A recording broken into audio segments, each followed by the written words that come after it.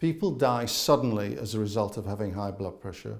Most patients with high blood pressure have no symptoms whatsoever. They don't know anything, but they don't have a problem. But they get a heart attack or a stroke or they die suddenly.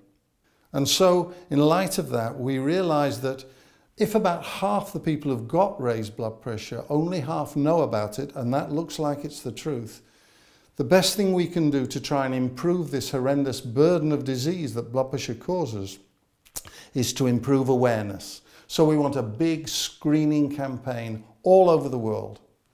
And so May Measurement Month was born. And in that month, we want 25 million people adults who haven't had their blood pressure measured in the previous year to come along to one of the thousands of sites that we'll have all over the world.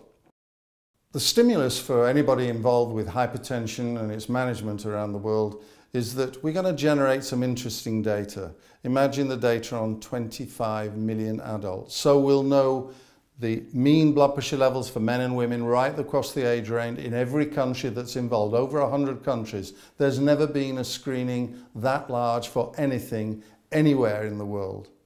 A key aspect of making May Measurement Month a success is that we need people who are going to volunteer, people who are going to take part and measure the blood pressures on the 25 million people around the world who haven't had it measured in the last year or so.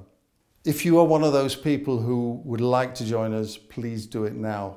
Each of the 100 or so, more than 100 countries involved will have a coordinator or committee who's going to organise that. But if you'd like to get involved, then all you have to do is get in touch with us at the ISH.